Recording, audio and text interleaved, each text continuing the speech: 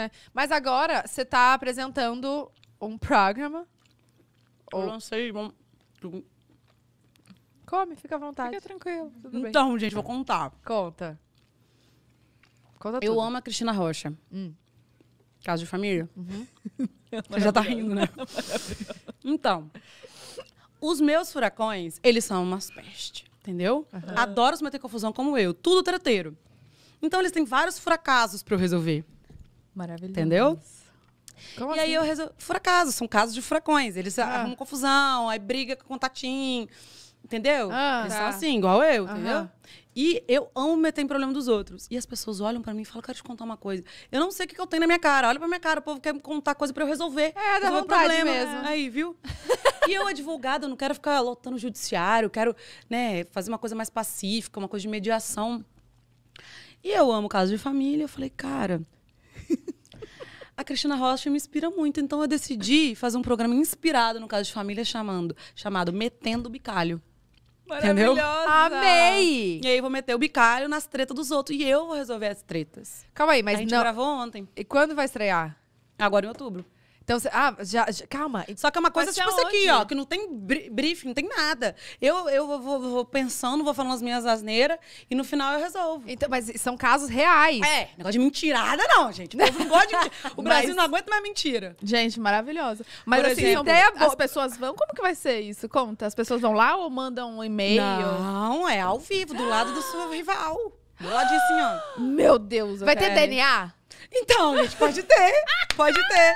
Calma aí, Ó. e você, como advogado, você pode fazer Não isso? é advogada, é eu, Gisele. Gisele dando opinião e Isso. tentando ajudar. Tentando, não, eu ajudo. Ah, tá. A pessoa sai de lá com o seu problema resolvido, eu Cê- garanto. Você gravou ontem. Eu garanto. Gravei. Foi o primeiro, primeiro foi episódio?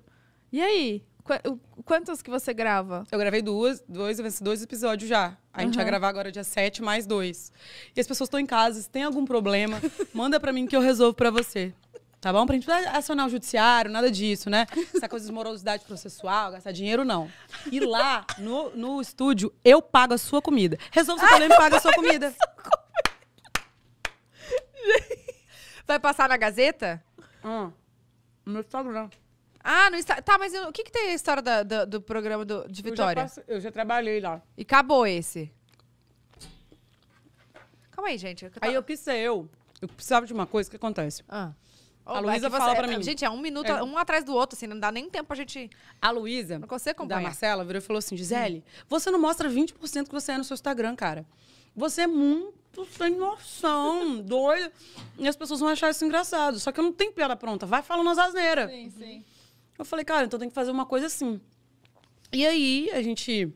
O Marcão desenvolveu o projeto, né? De como seria mais ou menos. E aí chega e falo, ó, Gisele, essa eu falei o que você ia falar. E foi eu falando as minhas loucuras, tentando resolver o problema dos outros. E no final eu dei a minha decisão.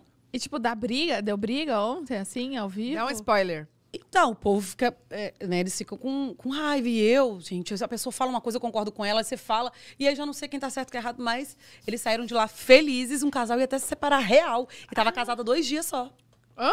É. Então você assiste outubro agora, Meu pra você entender Deus, eu melhor sobre esse chocada. caso. Vai sair no seu GTV? Você não briga com, com, com o Cielo, não, por causa de alguma coisa? Nossa, graças a Deus, nossas brigas é muito de boa. Mas, não, mas você acha que as brigas lá é tipo como? Ah, você não joga a roupa no cesto. Isso é uma coisa que você Ah. quer separar dele, não? Não. É, eu... Pergunta pra mim.